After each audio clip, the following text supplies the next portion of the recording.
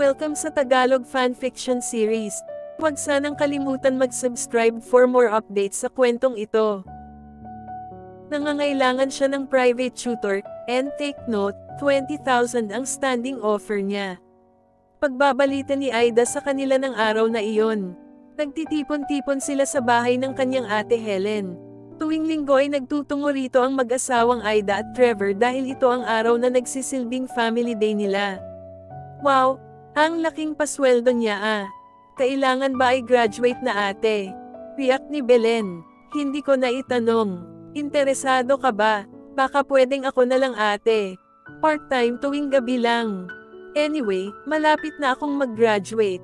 Saka na kami mag-usap kapag graduate na ako. Apat na bata ang tuturuan mo Belen. Ano ba ang mahirap na turuan? Apat na bata. Or, sa apat na po. Kung sa bagay, may katwiran si Ate Belen. Mas madaling turuan ang apat na bata kesa marami. Sabad ni Ana, hayaan mo at kakausapin ko uli si Jack. Tatanungin ko kung gusto niya ng part-time lang muna. Pika ng kanyang ate Aida. Interesado talaga ako dyan ate. Napaangat siya sa upuan nang makita si Jack Amante. Grabe pala sa kaguwapuhan ng tatay ng apat na batang tuturuan niya kung sakali. Kapag ganitong kaguwapo naman ang magiging tatay ng anak niya ay pwede na siyang mag-asawa kinabukasan din. Pinabawi na niya ang sinabi niya kay Ana na ayaw pa niyang mag-asawa. Comparable ito sa kakisigan ng Kuya Donald at Kuya Trevor niya. Asawa ng dalawa niyang ate. Yung nga lang, panalo ito pagdating sa dami ng anak. Ngek, talo ako agad doon. Mag-aalaga agad ako ng apat na batang hindi ko naman inanak. At biglang bagsak ang pag-asa niya. Married na nga pala. Ibig sabihin, wala na siyang pag-asa na maging tatay ito ng mga anak niya. Unless mabiyo daw ito bukas, nay ko po. Ano ba itong mga naiisip ko? Karumal-dumal yata. Para akong hindi magiging future teacher. Jack, sister ko, si Belen. Siya yung gustong mag-private tutor sa mga anak mo. Pero part-time lang raw muna. Kapag nag-graduate na siya ay sa kanya tatanggapin ang full-time na offer mo. Paliwanag ng ate ni Belen na si Aida. Kailangang kailangan ko talaga ng tutor ngayon Aida. Sa palagay ko ay tatanggapin ko na siya. Agad na sagot ni Jack. Saan po pala kayo umuwi Mr. Amante? O si sa ni Belen. Sa Makati. Malapit sa university na pinapasukan mo Belen. From there ay pwede kang mag-rent doon ng matutuluyan. Ika ulit ni Helen. May mas magandang offer ako sa iyo Belen. Bakit hindi ka na lang magstay in sa amin ngayon pa lang? Total, malapit pala roon ang pinapasukan mo. Offer na sabi ni Jack. Napatingin na lang si Belen sa mga kapatid niya, hinihintay nito ang mga desisyon nila. Huwag kang mag-alala, ang pasok mo ay magsisimula sa hapon, same time gaya sa usapan natin. Kaya lang, mas magiging close kayo ng mga bata kung makikita ka na nila roon, at doon ka matutulog. Dagdag pang sabi ni Jack, ano ang decision mo Belen? Tanong ni Aida, pag-iisipan ko muna ate. By the way, hindi ko pa nasabi, you will also receive 20,000 pesos a month kahit na part-time pa lang ang trabaho mo, kung papayag ka na stay in ka na ngayon. Nanlaki ang mga mata niya at napaangat sa upuan. Ang laking pera na nun. Hindi niya dapat maliitin ito. Aba, hindi pa siya graduate ay kikita na siya ng 20,000. Dapat fight na without thinking. Pag-iisipan pa ba niya ito ng matagal? Ate, ayoko ng plastikan, pero natitempt ako sa offer. Parang gusto ko nang tanggapin ang alok ni Mr. Amante. Ikaw ang bahala. Pinibigyan ka namin ng freedom na mag-decide sa sarili mo. Titing sabi ni Aida. Sige na ho sir, payag na ako. Malapad ng ngiti ni Belen. Good, masayang wika ng lalaki. Nalantad ang pantay-pantay nitong mga ngipin. Grabe, pati ngipin nito ay perfect. Pati lips, punting bigote, ilong, pisngi at tenga. Wala siyang makitang pangit sa mukha nito. Lalo na ang mga mata. Nakakamatay tumingin. At ang katawan, pang romansa ang dating. Grabe, na-memorya na yata niya kaagad ang bawat parts ng katawan nito pati balto. Ganon kabilas ang naging reception ng mga mata niya sa pagkakatingin niya sa lalaki. Medyo binawas-bawasan na nga niya ang pagtingin kay Jack. Baka naman isipin nito ay pinagnanasaan niya ito. Desidido ka na ba sa naging desisyon mo Belen? Wala nang atrasan ito. Bukas na bukas ay susunduin ka raw ni Jack sa bahay para makapagsimula ka na. Paalala sa kanya ng kanyang ate Helena nang pauwi na sila. Sakay sila ng van nito. Kinabukasan ay apat silang magkakapatid na humarap kay Jack. Para nga yata akong nabigla. Biglang saad ni Belen sa mga kapatid. Aba, ipirmi mo na ang isip mo. Sabihin mo na kaagad kung gusto mong mag-back out at nang masabi na kay Jack. Hindi na pala, final na yon. Nakakahiya naman doon sa tao kung magbaback out ako. Napakagwapo naman ng magiging amo mo ate. Parang mas gusto ko yatang siya ang e-tutor. React ni Ana. Ana, ikaw ha. Ang bata-bata mo pa marunong ka nang tumingin ng gwapo. Sita ni Helena sa bunso nilang si Ana. Bakit naman ate? Pinag-aaralan pa ba ang pagkilatis sa gwapo? Ultimo nga preparatory students ngayon ay marunong nang mag-appreciate ng gwapo at maganda. Pag-aaral mo ang atupagan mo at hindi ang mga gwapo, pangaral naman ni Aida. Makinig ka nga Ana, salo niya. Gusto sana niyang segandahan ang sinabi ni Ana pero, natakot siyang mapang-aralan rin ng dalawang nakakatandang kapatid. At saka baka mahalata siya. Sa totoo lang, ang lakas ng epekto ng kaguwapuhan ni Jack sa sistema niya. Parang na-excite na siyang magsimula na magturo sa apat nitong anak. Wish nga niya, sana ay mabait ang asawa nito at hindi selosa para naman libre siyang tingnan ng tingnan si Jack. From head to foot, puro perfect ang rating niya kay Jack nang sunduin siya ng hapon na iyon. Mas lalo yata itong naging gwapo sa paningin niya. Wala siyang masay sa loob nito. Naka-signature items ito all over. At ang kutis na pakakinis, ang labi, talagang nakakaloka sa pagkakissable. How lucky naman ang wife nito. Gabi-gabi ay may katabing anghel na gwapo. May hinihintay ka pa ba? Tawag pansin ni Jack sa kanya. Hindi pa kasi siya kumikilos sa kinatatayuan. Wala na po, taranta niyang sagot. Kung gayon ay tayo na. Nangako ako sa mga bata na kasama nakita ngayong gabi. Sige po, babo na sa inyong lahat. See you and call na lang on Sunday. Paalam niya kina Helena ay daana at kay Auntie Fenila. Ayaw niyang tumingin sa kanila. Baka mag-cry-cry pa siya at magbago pa ng isip. Pero nang mapatingin siya sa mukha ni Jack, feel niya ay wala nang makakapigil sa kanya para sumama rito. Bagong-bagong kotse ang sinakyan nila. Ang bango sa loob pero mas mabango yata ang driver. Malinis ang loob ng kotse pero tingin niya ay masnit si Jack rito. Napatingin siya pati sa kamay nito na nakahawak sa manibela. Pati kamay, kakaiba, hubog kandila. Samantalang ang kamay niya, hubog kandilang may tulo yata ang kahawig. Mahilig ka ba sa bata? Pagkway tanong ni Jack sa kanya. Bakit niyo po natanong? Kasi makukulit ang mga anak ko. Makukulit ho, muntik na siyang mabulunan. Hindi yata niya naisip na makukulit ang tuturuan niya. Hindi kaya malooy ang beauty niya rito. Kaano kakulit ba ang mga anak mo? Sobra, nakakatuyo ng dugo, napangiwi siya. Hindi kaya one week lang ako sa bahay ninyo ay magmukha na akong lola. Palabiro ka pala, natatawang wika ni Jack. Hindi masyado. Huwag kang mag-alala, nagbibiro lang ako. Makukulit ang mga anak ko pero hindi naman sila nagiging kos ng katandaan.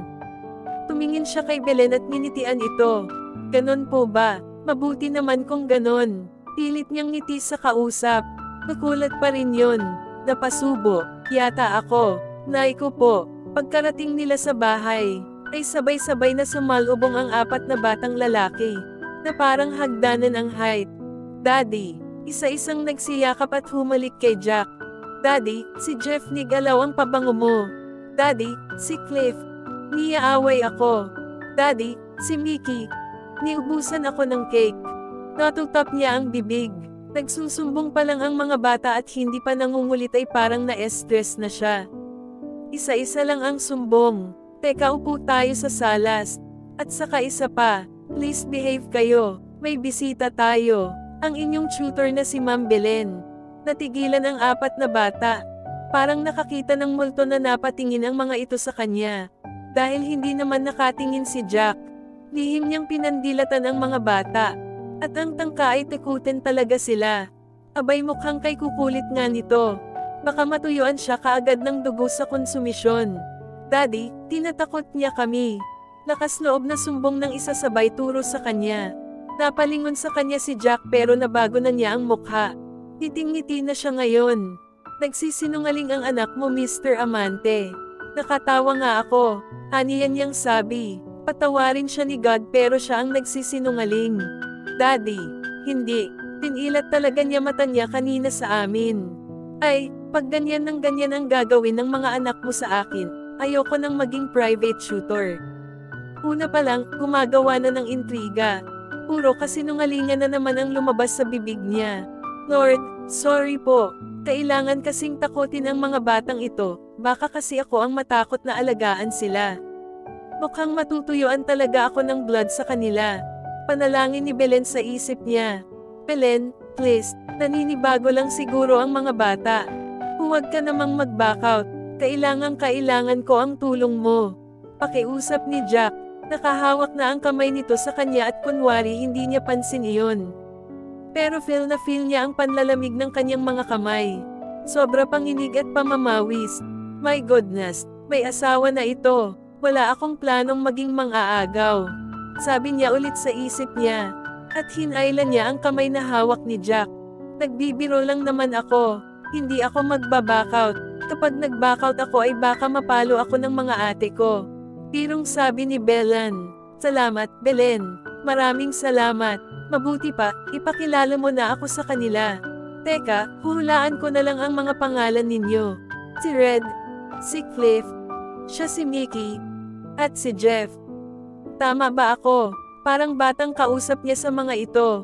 Tama po. O, sige. Ipakilala ninyong isa-isa ang sarili ninyo para alam ko na. Ako na po ang magpapakilala sa kanilang lahat. Pika ng pinakamalaki na sa tingin niya ay humigit kumulang sa walong taon. Ako po si Jeff, ito pong sumunod sa akin ay si Cliff, ang pangatlo ay si Red at ang bunso po ay si Mickey. Okay, Jeff, Cliff, Red, Mickey. Isa-isa ulit niya binanggit ang mga pangalan nito habang hinahawakan ang bawat isa sa ulo. Ako naman si Belen. Pwede ninyo akong tawaging Ma'am Belen okay? O siya, nagsikain na ba kayo? Hindi pa po. Ha, alas 7 na ay hindi pa kayo kumakain. Wala po kasi si Daddy. Sabay-sabay po kaming kumakain sa hapunan. Teka, Mr. Amante, hindi pwede ito, masyado ng late ang dinner na 8 o'clock para sa mga bata. Dapat mas maaga ang kain nila. Hindi ko naiisip yan Belen. Ikaw na ang bahala. Gawin mo ang lahat ng makakabuti sa mga bata at susuportahan kita. O sige, kakain na tayong lahat. Kailangan malilinis ang mga kamay. Nagwash na ba kayo? Hindi pa po. Teacher, kayo na po ang magwash sa amin. Wika ni Cliff. Aba, masaya ang mga kutong lupang ito. Akala yata ay yaya nila ako. Tatanggihan sana niya ang request ng bata pero naisip niya, ano naman kung pagbigyan niya ang mga ito. Inosente naman ito, at hindi naiintindihan na siya ay hindi kinuha ng ama ng mga ito para gawing tagahugas ng kamay. Nako po, Paano pa kaya kung kwet naman ang pahugasan sa kanya? Yak, gusto ko na yatang mag-resign bukas. Inoobserbahan niya ang mga bata habang kumakain. Mga behave naman ang mga ito at marunong nang magsigamit ng spoon and fork kahit na malilit pa. Na-train sila noong dating teacher nila. Pero pinaalis ko na yon. Nitong huli kasi ay sinasaktan na niya ang mga anak ko. Siyempre, hindi ko naman papayagan na saktan ang mga anak ko ng kahit na sino. Paano kung mali talaga sila? At dapat na disiplinahin. Sa akin isumbong para ako na ang magdisiplina. Teka, bakit ba dyan napunta ang usapan natin? Kailangan ko kasing malaman kung hanggang saan ang pwedeng disiplina na gagawin ko sa mga anak mo. As long na hindi physical punishment ang gagawin mo ay mapapayagan ko. Mabuti na yung nagkakaintindihan tayo. Pero sa isip niya ay umaandar ang napakaraming nakakakonsumi at nakakatuyo ng dugong eksena sa piling ng mga batang ito. Kailangan talagang magkaroon ng takot ang mga ito sa kanya para makontrol niya sila. Nang gabing iyon ang first day ng kanyang tutorial. Sinabay-sabay niya ang pagtuturo sa mga ito. Pinigyan niya ng paperwork ang bawat isa at sa kanya iniisa-isa ang pagtuturo. Eksaktong alas 9 ng gabi ay natapos niya ang pagtuturo sa mga ito. Isa-isa na niyang pinahiga ang mga ito sa kani-kanilang kama. Sa isang malaking bedroom natutulog ang apat na bata. May yaya ang mga ito na kasamang natutulog sa loob. Sa adjoining room kung saan may connecting door ay doon naman ang kanyang kwarto. Pero ayaw pang magsihiga ng mga ito. Maglalaro pa kami ma'am. That's bad. May klase pa kayo bukas. Dapat ay matulog ng maaga. Yaya ayaw pa naming matulog. Piling ni Cliff sa yaya nito, kaya napakamot ng ulo ang yaya. Miss Belen, hindi po pwedeng patulugin ang mga bata pag ayaw pa. Ay, hindi pwede sa akin yan. Kung gusto ninyong maging teacher ako, kailangan ay matutulog na kayo ng alas 9. Kaya pala nangangitim na mga gilid ng mga mata ninyo. Nagsisipagpuyat kayo. E baka po magalit si sir sa akin kapag pinwersa ko ang mga bata. Ganito na lang. Ang matulog ng maaga, may prize sa akin bukas. Anong prize po ma'am? Cory ay na-excite ang mga bata. Iti-treat ko sa McDonald. Yehey! Tutulog na ako ng maaga. Ako rin. Nag-una-unahan ang mga bata sa paghiga sa kani-kanilang mga kama. Napatawa sila ng yaya nito. Behave kayong lahat ha. Sasabihin sa akin ni Yaya kung sino ang hindi natulog kaagad. Nagtagumpay siya sa ginamit niyang psychology sa mga bata. Nakatulog nga sila ng maaga. Napangiwi siya habang naaalala ang pinagdaan ng ordeal sa apat na bata. And this is just the first night. At parang gusto na niyang sumuko kaagad. Grabe, daig pa niya ang biglang nagkaanak. Puti kong mga tahimik, parang mga kiti-kiti ang mga batang iyon kung kumilos. Sagana sa energy, mukhang pinainom ng isang lat ang sustagen ang mga ito. Nag-shower siya at nagpalit ng bihisan. Ang kanyang favorite na pantulog. Short na maiksi, at t-shirt na maluwang. Minus her bra, pero hindi naman siya dalawin ng antok. Naisipan niyang magtungo sa family hall na matatagpuan sa second floor ng bahay. Pabuka kang sumalampak siya roon na parang gunting. Ilang araw kaya ako tatagal rito. Ilang araw kayang buo ang katinoan ko. Naiko, nakakadrain ng utak ang energy ang mga batang ito. Umalikip-kip siya at isinandal ang ulo sa sandalan ng sopa at saka tumingin sa kisame. Cory ay nawalan siya ng iisipin. Feel lang niyang i-relax ang sarili sa gayong ayos. Gising ka pa pala, batin ni Jack sa kanya. Kaya napamulagat siya habang nakatingin kay Jack na noon ay nakatunghay sa kanya. Parang hindi niya magawang baguhin ang kanyang ayos. Bukakang baka ka pa naman siya noon at medyo maiksi ang suot na short. Napalunok siya. Gusto niyang kumilos pero para siyang naparalisa. Hindi ka na nakapagsalita. Ano ba ang nangyayari sa iyo at natuod ka na dyan? Nakakunot ang noong tanong nito. Pero napansin niyang humagod ang tingin nito sa dibdib niya. Nagulat siya at napatiklop ng upo. Nakabaka kasi siya na tila gunting sa pagkakaupo. Bale ba ay nakashort pa man din siya at walang bra. Para siyang matutunaw sa hiya na tumiklop ng upo at sa katila napapahiyang niyakap ang sarili. Mainit kasi, tangin niyang nasabi. Aircon naman ang kwarto mo. Pwede mong buksan iyon. Naupo si Jack sa tabi niya. Alanganing matawa siya o mapangiwi. Masyadong malapit ang distansya nila nito sa isa't isa. Saksakan pa ng gwapo ang lalaki. Nakasuot lang ito ng sando at pajamang puti. Parang gusto niyang tumalon at kumandong dito. At saka yumapos sa leeg nito. Sino ba naman ang hindi mag-isip ng ganito kapag ganitong kaguwapong lalaki naman ang haara-harap sa harapan mo? Ang muscle, palm atay. Ang lips, kissable. Ang sarap sigurong mahalikan ng mga labing iyon. At ang matitipuno nitong mga bisig, ang sarap din sigurong makulong roon. Napapikit siya. Cory gusto niyang isiping ang mga nasa isip niya ay magkakaroon ng kaganapan kahit na sa imahinasyon lang. Nakalimutan yata niyang katabi niya si Jack, at kasalukuyang nakatingin sa kanya. Pelen, Pelen, tawag pansin nito sa kanya. Napabalikwas siya sabay dilat ng malalaki. Ano ba itong pinaggagawa niya? Pakaisipin naman ng lalaking ito ay nagpapakita na siya ng motibo. Ang bata ko kumpara sa kanya kahit na 30 years old na siya. Inaantok ka na yata, matulog ka na kaya, wika ni Jack. Oo nga sa totoo lang po, inaantok na ako. Pinapalusot niya kahit na wala pa siyang kabalak-balak matulog. Tumayo siya at saka nagmamadaling pumasok sa kanyang kwarto. Sa loob ng kanyang kwarto ay nasapo niya ang dibdib. Napakalandi naman yata niya kanina. Puti na lang at hindi nag-isip ng masama si Jack sa kanya. At ang asawa niya, puti na lang at hindi sila nakita ng asawa nito. Nahimas niya ang baba, nasaan nga pala ang asawa ni Jack. Hindi yata niya nakitang umuwi kanina. O, baka naman ng kasalukuyan siyang naliligo ay saka dumating. Napilitan siyang hamimli na sa kanyang kama baka kung ano-ano pa ang maisip niya. Kinabukasan ay nagising siya sa alarm clock ng kanyang cellphone. Mabilis siyang bumangon. At parang nagulat pa nang mapagtantong sa ibang bahay nga pala siya naruroon. Alas 7.30 ang klase niya at nagtatakbo siya kaagad sa banyo para maligo. Okay rin itong kwarto niya. May sarili ng banyo at CR. Pagkaligaw niya ay bumaba siya para uminom kahit na kape. Tinatnan niya ang mga bata na nakaupo lang sa hagdanan. Ano ginagawa ninyo dyan? Maliligo pa kami teacher. Hindi pa nag-iinit ng tubig si Yaya. May ginagawa pa. Anong oras ba pasok ninyo? 7.30. Ha, 6 o'clock na. Kakain pa kayo. Yaya, nasaan ka? Natatarantang hanap niya sa yaya ng mga bata. Natagpuan niya ito na naghahalukay ng pagkain sa refrigerator. Ikaw ba ang magluluto ng almusal nila? Namalengke ang cook ate. Wala pa hanggang ngayon. Nako, ipag-init mo na sila ng tubig at ako na ang maghahanap ng iluluto para sa kanila. Tumalima ang yaya at siya naman ay nakakita ng itlog, bacon at hotdog.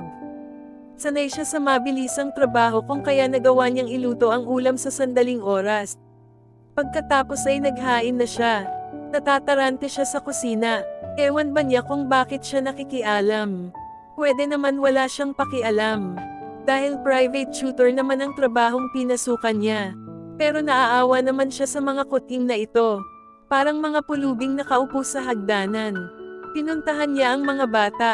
Ang bibigat pa ng mga talukap nito. Tayo na dyan. Kain na kayo at baka malate kayo sa klase. Sino po nagluto? Sino pa? E di ako. Ay, akala ko po teacher kayo. Teacher nga. Eh, bakit po nipagluto ninyo kami? Nakakaawa kasi kayo. Nasaan ba ang mami ninyo at nang siya ang mag-asikaso sa inyo? Wala po kaming mami. Natigilan siya. Bakit?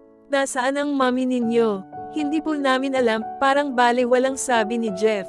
Napakunot ang noo niya. Ibig sabihin, walang katabi sa pagtulog si Jack. Abala ang kanyang isip habang natatarante siya sa pagpapaupo sa apat na bata. Nilagyan niya ng tigi-isang hotdog, itlog at bacon sa plato ang bawat isa. Pagkatapos ay ipinagtimpla ng gatas ang mga ito at saka lang siya nakaupo para uminom ng kape.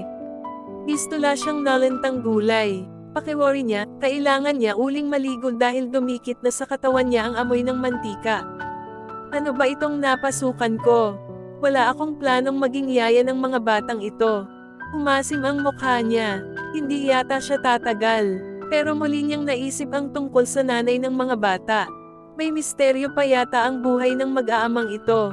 Naudlot ang pagbaba niya sa hagdan ng mabuglawan niya si Belen na nakapangalumbaba, mukhang pagod na pagod at tila nakasimangot. Ano ang nangyari sa babaeng ito at tila ito nag-practice ng sayaw? Tumatagatak ang pawis nito sa noo at kakatwa ang ayos. Nakaroba at may tuwalya pa sa ulo. Pilasan ninyo ang kain at magsiligaw na kayo. Yaya, mainit na ba ang tubig ng mga bata? Sigaw nito. Cory ay hindi siya nakikita nito. Napakunot noo siya. Bakit nga pala ito ang nag-aasikaso sa mga anak niya? Nakakahiya naman. Itinuloy niya ang pagbaba. Aling dolor, nasaan kayo? Ay, natutap niya ang sarili pagkakita kay Jack. Baka naman isipin nito ay napakaburara niyang tao.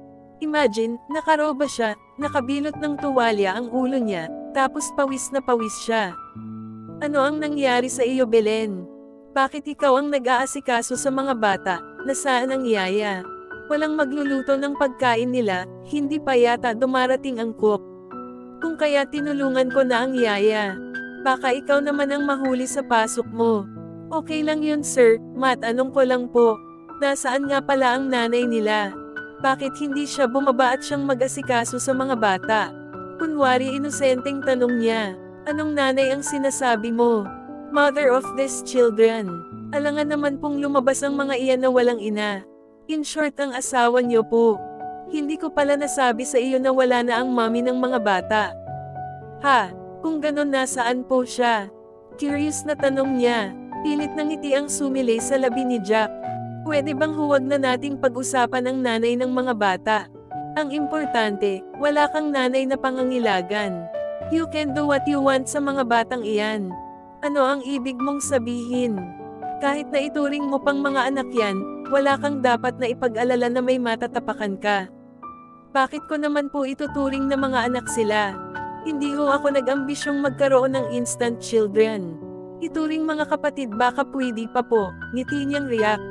Nako naman, ano naman ang akala ng mamang ito? Giliw na giliw siya sa mga batang ito at enjoy na enjoy siya sa pinaggagawa niya kanina. Sabi niya sa isip niya, aakyat na po ako sir. Baka malate ako sa klase ko kapag tumagal pa ako ng isang minuto rito. Nagmamadali siyang umakyat, halos madapa siya sa hagdanan. Kung alam lang ni Jack Amante, tuwang-tuwa siya sa nalamang wala itong asawa. Ibig sabihin ay bildo na ito. O baka naman separated. Pero ang importante ay libre pa pala ito sa ngayon. Yes, lihim niyang sabi sa sarili. Nang makapasok siya ng kwarto ay parang sira ulong nagsasayaw siya sa galak at may kasama pang talon. Bildo na siya. My goodness, wala na pala siyang asawa. Ang laki pa ng aking hope. At nagtatalong napatili, nang biglang bumukas ang pinto at nakitang si Jack iyon. Huling-huli siya nitong nagtatalon sa tuwa. Pagkakita rito ay bigla naman siyang nahinto na mistulang estatwa. Pumunat ang noo ni Jack. Ano ang ginagawa mo? Nag-exercise po. Morning exercise ko po yun. Maagap na palusot niya. Bakit may kasamang tawa at tili? Ay talon kasi, exercise sa physical body ko, yung tili at tawa, para sa mukha po. Ganun ba ang exercise sa mukha? Opo ganun po iyon. Para huwag kang tumanda kaagad. Hindi mapakaling paliwanag niya. Hindi niya malaman kung kakagatin ang daliri. O mamimalipit sa samit-saring isiping naglalaro sa kanyang isipan. Ah bakit ka nga pala bigla na lang pumapasok sa kwarto ko po sir? Sasabihin ko sana sa iyong hihintayin na kita. Ihahatid na rin kita sa pinapasukan mong school. Salamat po sir, pero sana po next time, pwede kumatok po muna kayo bago pumasok, kasi po hindi po ako sanay. Magugulatin po kasi ako. Oh sure, I'm sorry. Nabigla rin ako. Okay lang po. Concern ko rin ay paano kasi kung hindi ako nakadamit. E di nakakahiya naman po para sa akin, hindi po ba? Napakamot ng ulo si Jack. Pasensya ka na Belen. Sige, magbihis ka na at hihintayin kita. Paglabas ni Jack, tumili uli siya ng walang sounds. Sanhi ng kahihiyan niya. Nag-shower uli siya. Hindi niya matake ang amoy mantikang smell niya. Pero may isang tanong na gumiit sa kanyang isipan. Ano kaya ang totoo? Isa siyang beaudo. O legally separated. Parang ayaw niyang guluhin ang utak sa mga katanungang iyon. Mas gusto niyang isiping may malaki pa siyang pag-asa ng mapansin ni Jack. Dadaanan na rin kita sa uwian mamayang hapon Belen. Along the way naman ito sa printing company ko, wika ni Jack sa pagkahatid sa kanya. Sige po sir, ikaw ang bahala. Ang luwang ng pagkakangiti niya.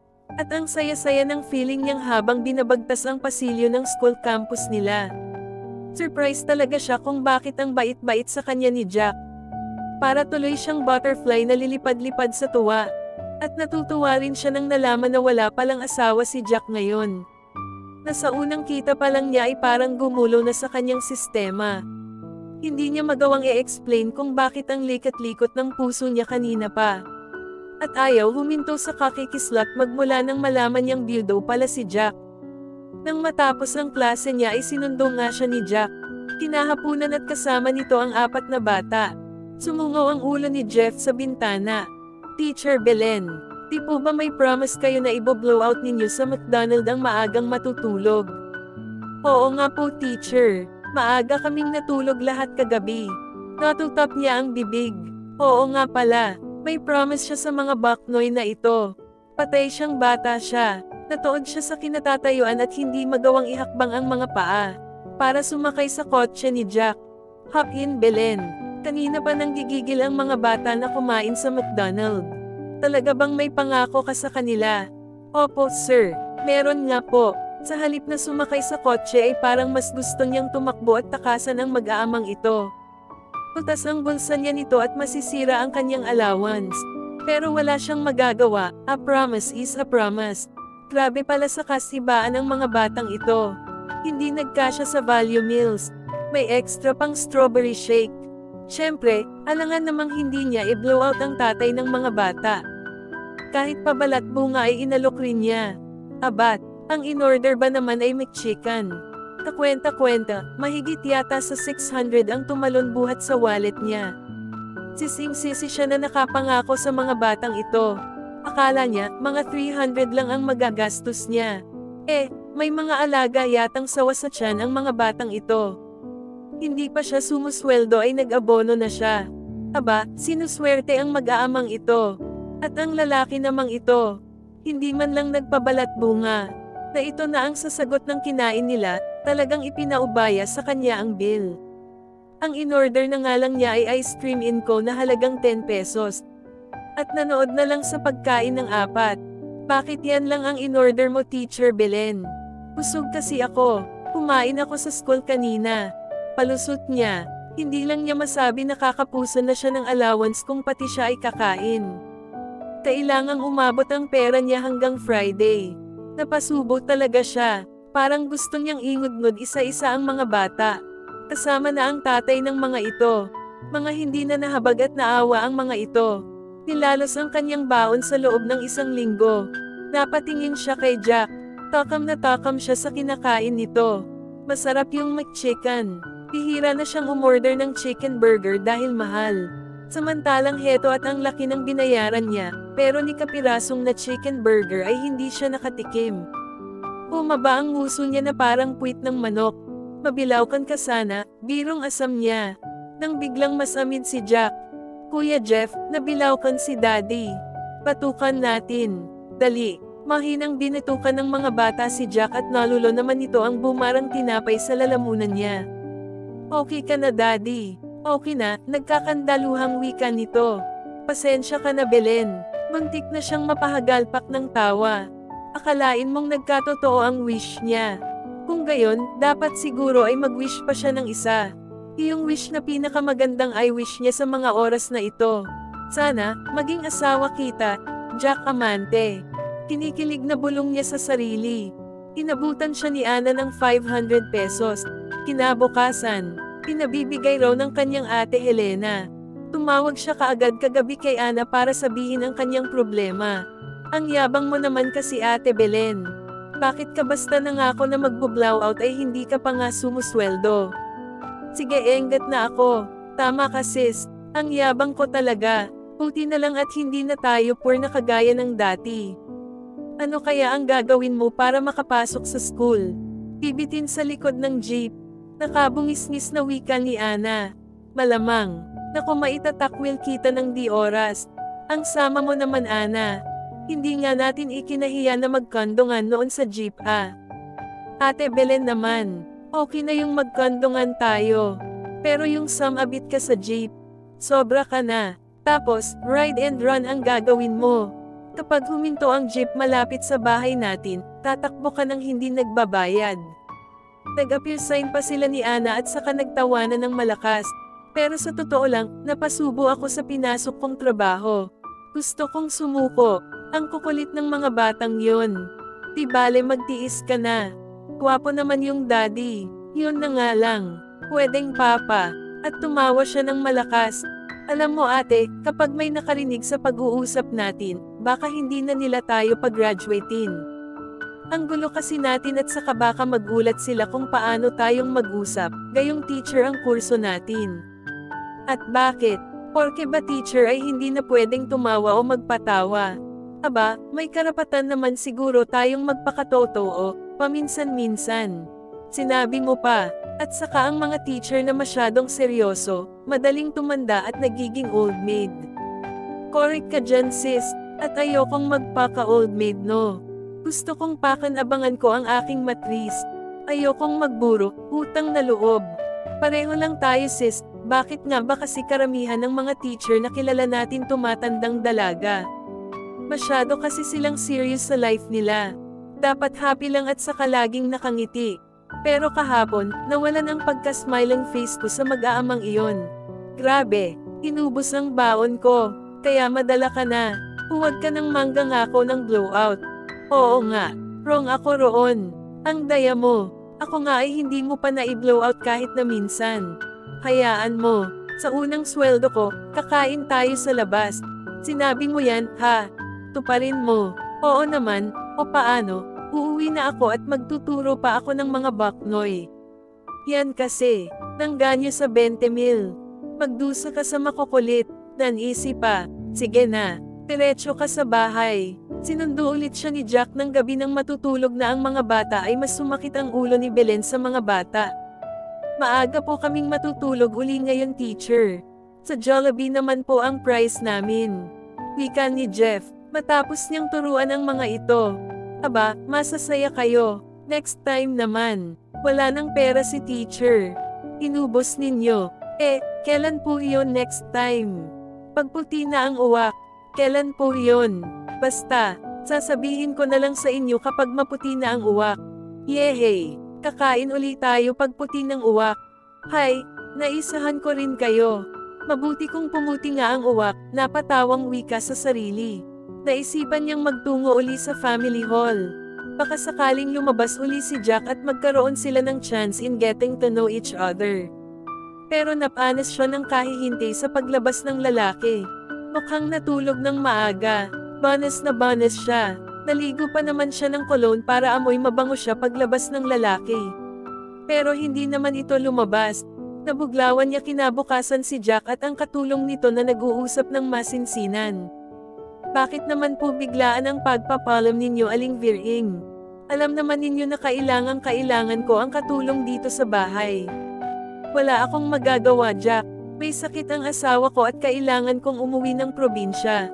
Nako, paano na ang gagawin ko nito? Apat-apat na bata yan. Sino ang magluluto ng pagkain nila? Malungkot na saad ni Jack. Pakiusapan mo muna ang yaya. Yan na magluto at maglinis pansamantala. Susubukan kong bumalik pagkaraan ng dalawang linggo. Hindi na ho ba talaga kayo maaawat kahit na isang araw lang? Hindi na pwede Jack. Nag-aalala ako sa asawa ko.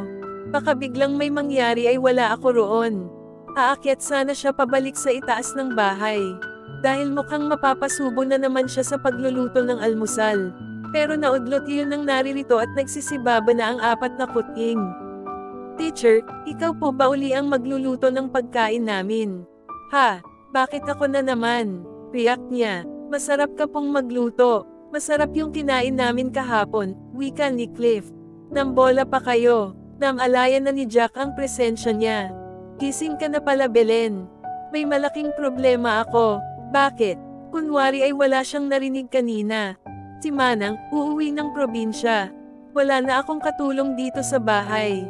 O ngayon po, paano na kaya ang mga bata? Magsisipasok yan. Wala nang mag-aasikaso sa kanila sa umaga. Ano ngayon ang gusto mong gawin ko po sir? Pwede bang pansamantala habang wala akong nakukuhang kapalit ni Manang ay tulungan mo muna ako? Napanganga siya. Aba, napakasaya talaga ng lalaking ito. Tingin yata sa kanya ay all trade na pwede kahit ano. Imagine, may masama itong balak. Mukhang gusto siyang ipalit kay Aling Viring.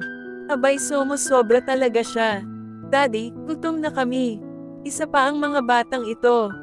Nagpaparinig pa. Nakokonsensya naman ako. Napilitan siyang magbungkal sa refrigerator. Gigil na gigil siya. Pigil na pigil na panggigigil. Private tutor na naging cook at mukhang madadagdagan pa. Hindi na nakakatuwa ang mag-aamang ito.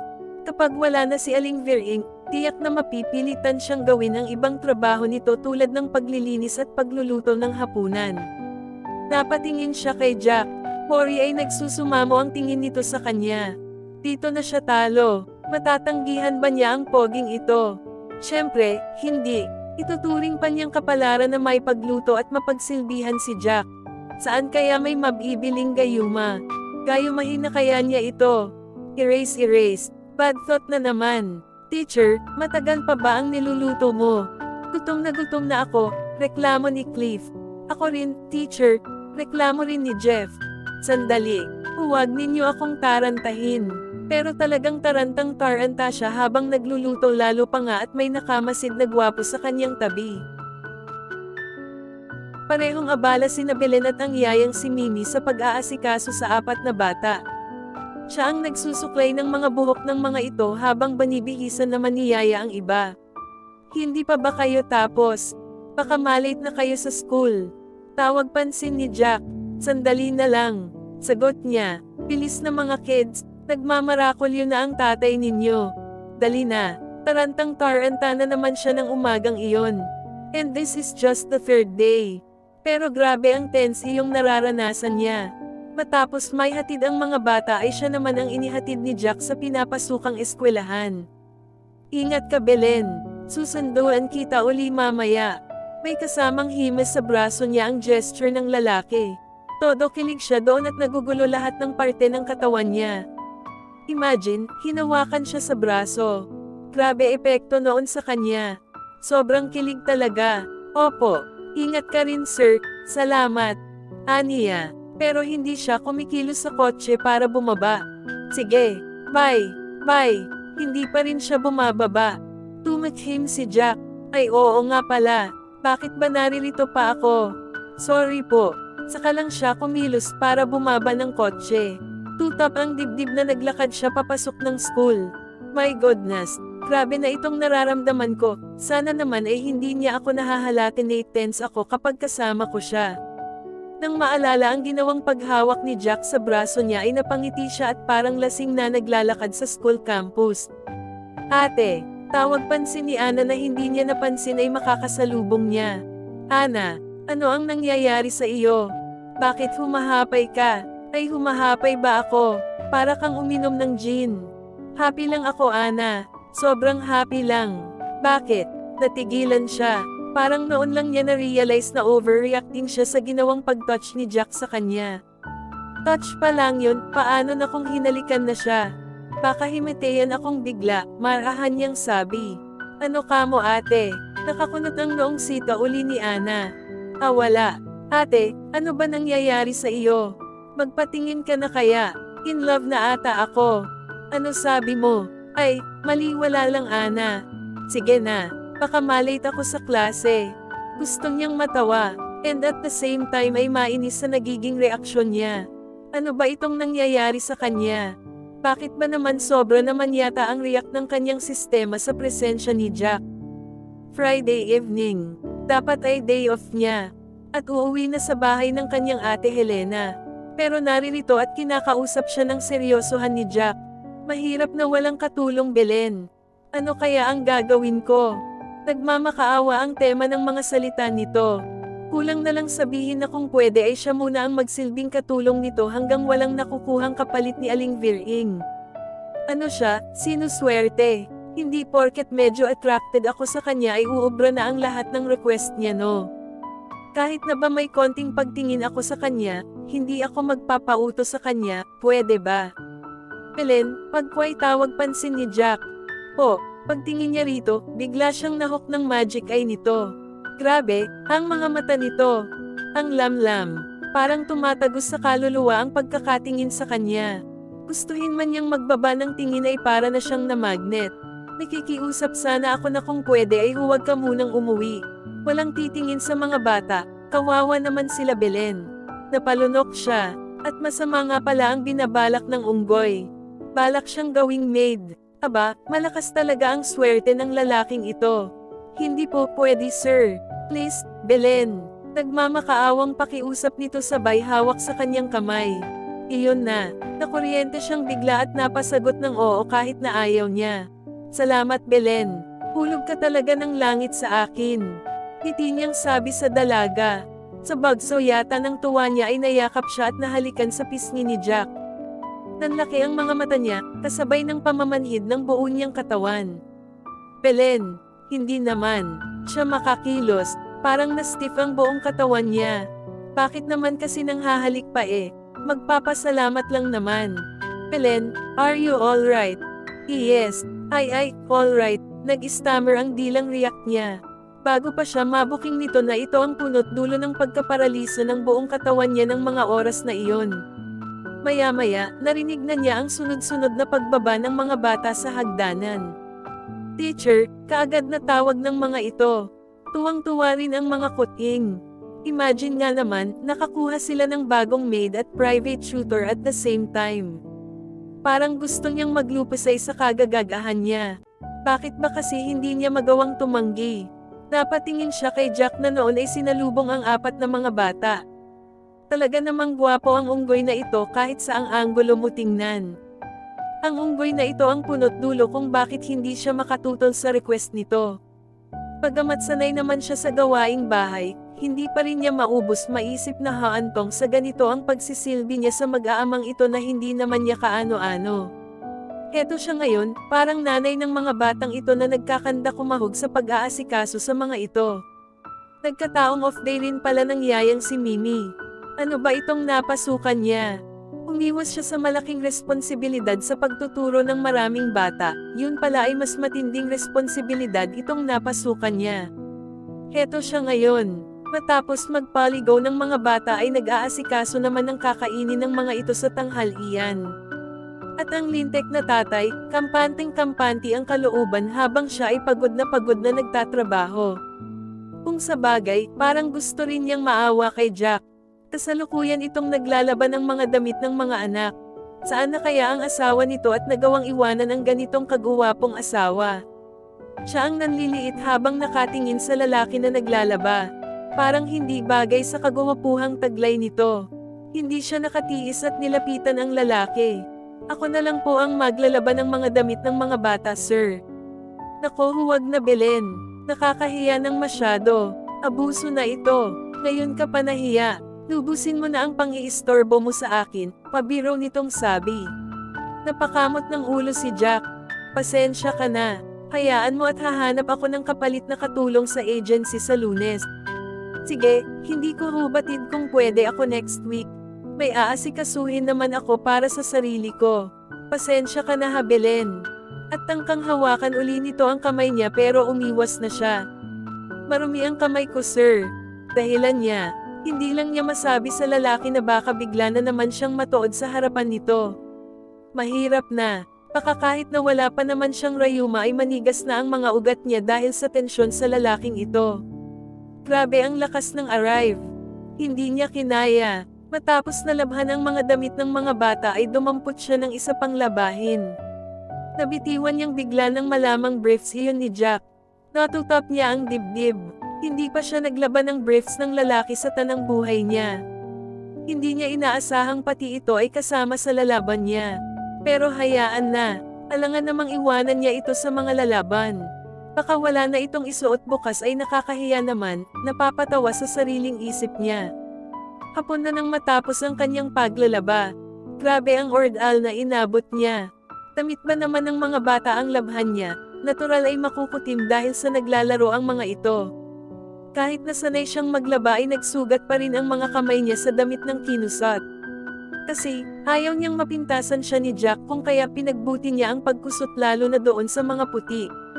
Gusto niyang maiyak nang makita ang mga kamay na nagkabutas-butas sa sabon. Kasalanan naman kasi niya, bakit nakialam-alam siyang maglaba samantalang hindi naman humihingi ng tulong si Jack sa kanya. Hinggil dito, sana ay nagluto na lang siya. At least, naghahalo lang siya sa kawali. Pero sa paglalaba, mapapagod at masusugatan talaga ang mga kamay niya. Bale ba ay puro puti ang nilaban niya kung kaya hindi pwedeng isa lang sa washing machine. Ano ba itong napasukan ko? Sinuswerte talaga ang mukong na ito. Kung hindi ka lang gwapo. Oras ng tanghalian. Nagkakagulo ang mga alaga niyang kuting. Nag-uunahan pa ang mga ito sa atensyon niya. Matapos mapagsilbihan ang mga ito at mabigyan ng kanya-kanyang pagkain ay naupo na siya. Unaware siya na sa tabi mismo ni Jack siya napaupo. Grabe, ang hirap palang mag-alaga ng bata, aniya rito. Feeling ko nga ay ikaw na ang nanay nila. Ano, nandidilat ang mga matang react niya. Excuse me po sir, Wala akong kabalak-balak na magkaroon ng instant family na kasing dami ng mga batang ito. Ibig mong sabihin, ayaw mong mag-alaga ng mga bata. Not now. Hindi ko pa na-enjoy ang life ko Sir Amante. Of course, sa pag-aasawa rin naman ang punta ko. Pero hindi pa ngayon. Paano kung ang magkagusto sa iyo ay isang dildo? Nakatulad mo. Sagot niya sa isip. Ewan ko pa po. Hindi ko masasagot ang tanong mo. Ayokong magsalita ng patapos. Sige na. Kumain ka na muna at mukhang pagod na pagod ka. Anong mukha lang? Sobrang pagod talaga ako sir. As in sobrang pagod talaga. Magpahinga ka na at ako na ang maghuhugas ng kinainan natin. Tapos mamayang hapon ay ako naman ang magbublow out sa Don Henrico's. Aba, sosyal. Ako nga hanggang Jollibee lang ang kaya. Ito Don Henrico's. Bueno, ako naman ang babawi mamaya. Makikita mo, mag-o-order ako ng masasarap kapag sinabi mong eat all you can. Pero nang paalis na sila, bigla muna siyang nag-time out. Humihilab ang tiyan niya. Pagpasok niya ng comfort room, malabnaw ang kanyang dumi. At hindi lang isang beses siyang dumumi. Nakaapat na balik na siya sa comfort room at nang palabas na ay muling humilab ang tiyan niya. Balik uli sa Cub 8. Dismayado siya. Ito ang napala niya sa pag-iisip ng masama. Balak kasi niyang mag-order ng maraming pagkain para makaganti kay Jack. Pero sa nangyari sa kanya ay imposibleng magawa niya iyon ngayon. Sinuswerte talaga ang lalaking ito. Matapos akong mapapayag na maging temporary maid, ngayong magbublow out naman ito ay biglang nasira ang tiyan niya. Mukhang hindi ako makakasama sa lakad ninyong mag-aama sir. Saad niya nang lumabas ng comfort room. Bakit? Tanong ni Jack. Nagka-LBM ata ako sir. Anong LBM teacher? O sa ni Jeff. Hindi niya nagawang sumagot. Natakot siyang mapagtawanan ng mga bata. Pero hindi niya napigil ang bibig ni Jack. Natatae ang teacher ninyo. Kaya postpone na muna ang lakad natin. Ay, si teacher, nagtatae. Umalaklak si Jeff. Gayon rin sina Cliff, Mickey at Red. Stop it Jeff. Saway ni Jack pero halatang gusto rin nitong matawa. Ang sarap pagbuhuli ng mag-aamang ito. Inis na inis na sabi niya sa isip. Daddy, paano yan? Hindi na tayo tutuloy. Malungkot na tanong ni Cliff. Hindi na. Unfair naman sa teacher ninyo kung tutuloy pa tayo. Inis na pinukul niya ng irap si Jack. Nagmalasakit pa ito kunwari sa kanya matapos siyang tablahin sa mga anak nito. Parang gusto niyang mahimatay sa hiya ng mga sandaling iyon. At hindi lang roon natapos ang ordeal niya. Si teacher, nagtatae, at humalaklak ng malakas si Cliff, nakijoy ng pagtawa sina Jeff, Red at Mickey. Ginawa ng katatawanan ng mga ito ang sinabi ng ama. Excuse me kid, excuse me rin Sir Amante. Aakyat na muna ako sa kwarto ko at baka magkalat ako rito, sarkastikong wika niya. Para gusto niya yatang umuwing bigla. At iwanan ng apat na ito na matapos niyan pagsilbihan ay naririto sila at pinagtatawanan siya.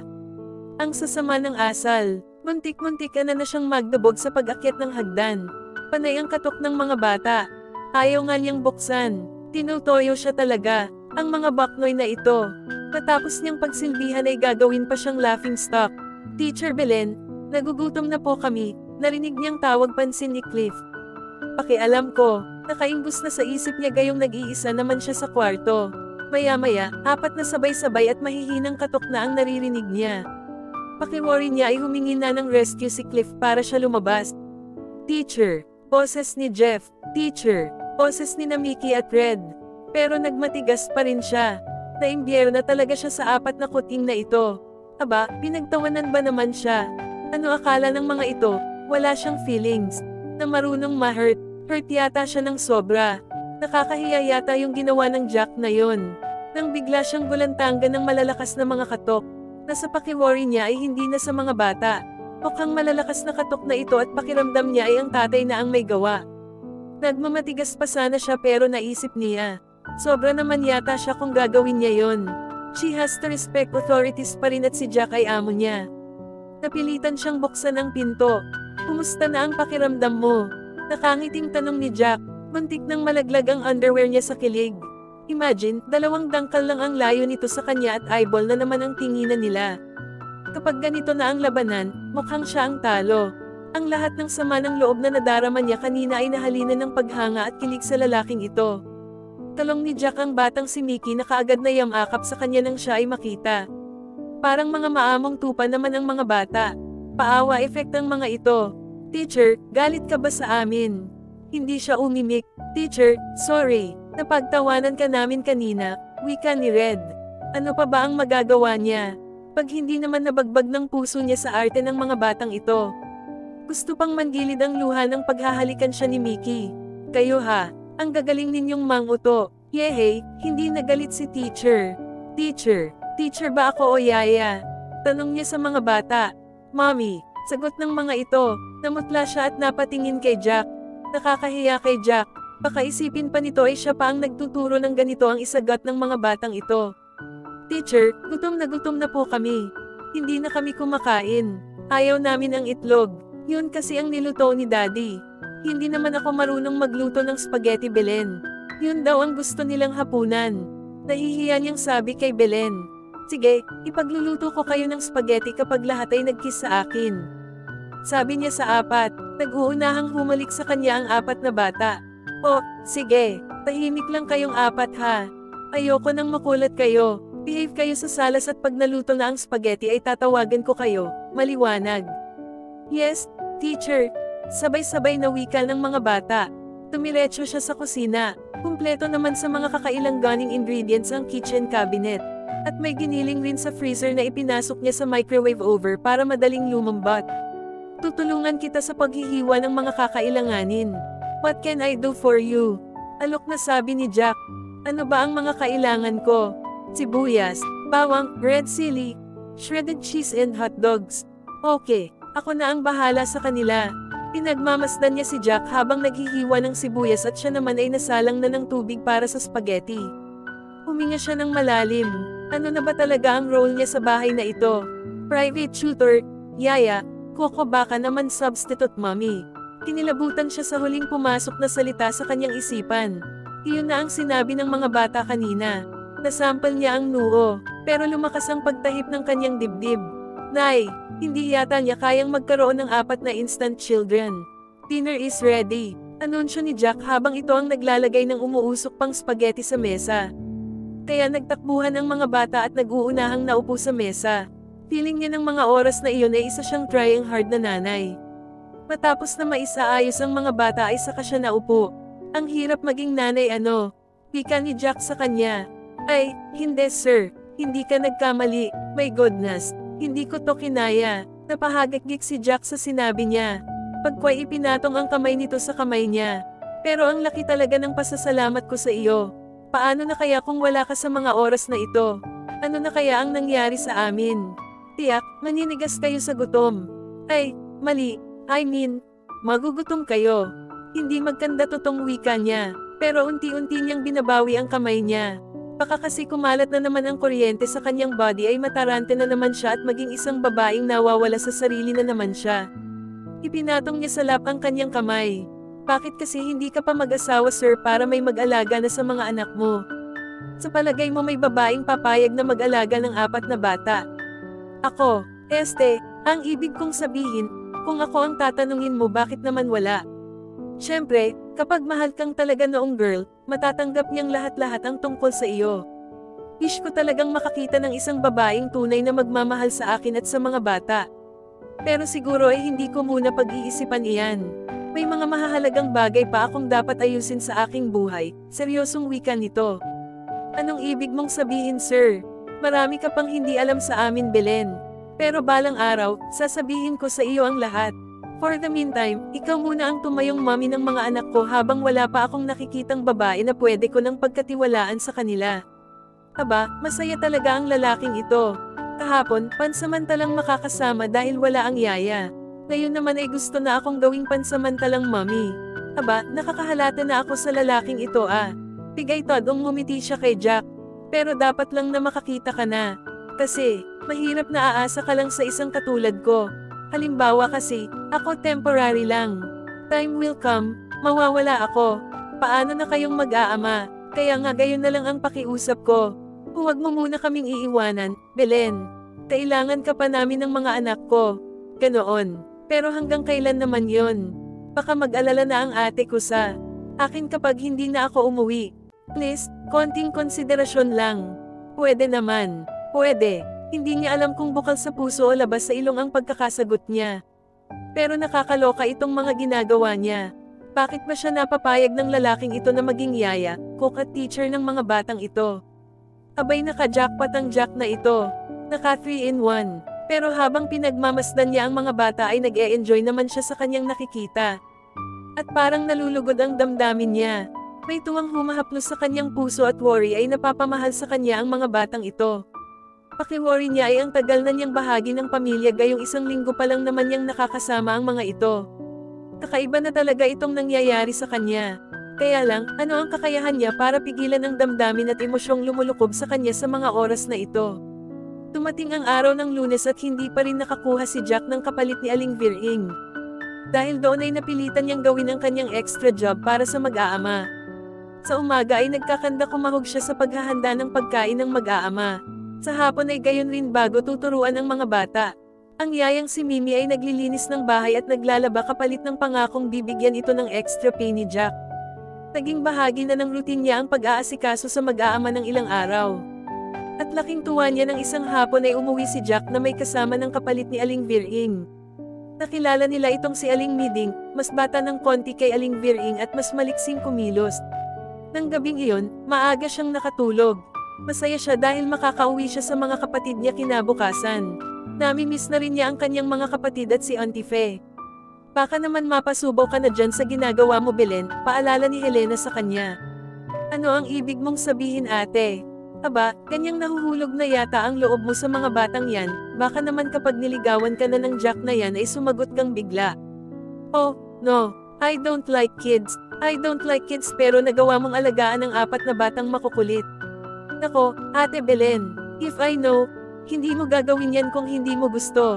Ano ang ibig mong sabihin Ana? Baka naman crush mo yung daddy ng mga bata. Ana, riyak niya. Pakiworry niya ay namumula ang buong mukha niya ng mga oras na iyon.